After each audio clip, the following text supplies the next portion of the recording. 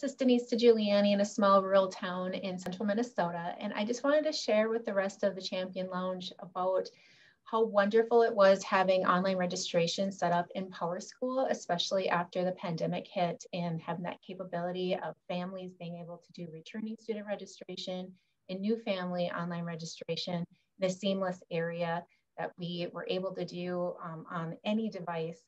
And it just was so nice not to have that worry about how we were going to handle all the paper.